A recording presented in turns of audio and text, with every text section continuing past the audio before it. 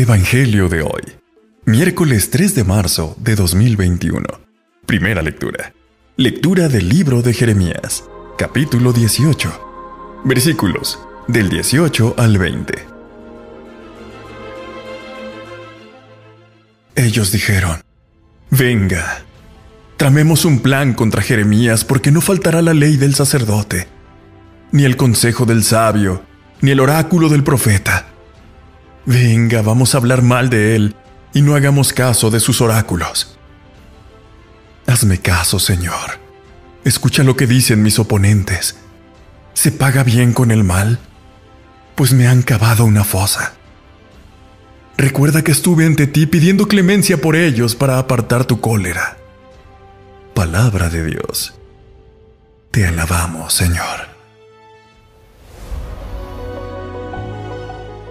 Salmo responsorial.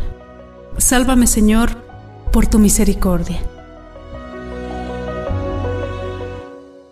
Sácame de la red que me han tendido, porque tú eres mi amparo. A tus manos encomiendo mi espíritu. Tú, el Dios leal, me librarás. Sálvame, Señor, por tu misericordia.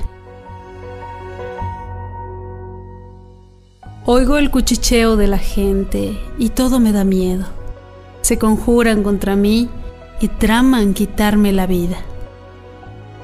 Sálvame, Señor, por tu misericordia. Pero yo confío en ti, Señor. Te digo, tú eres mi Dios. En tu mano están mis azares. Líbrame de los enemigos que me persiguen Sálvame, Señor, por tu misericordia. Lectura del Santo Evangelio, según San Mateo, capítulo 20, versículos del 17 al 28.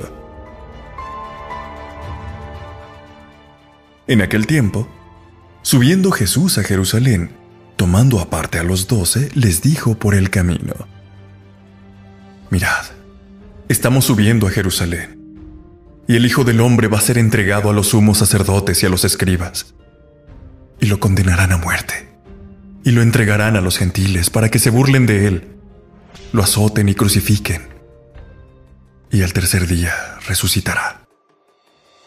Entonces se le acercó la madre de los hijos de Zebedeo con sus hijos, y se postró para hacerle una petición. Él le preguntó, ¿qué deseas? Ella contestó, Ordena que estos dos hijos míos se sienten en tu reino uno a tu derecha y el otro a tu izquierda.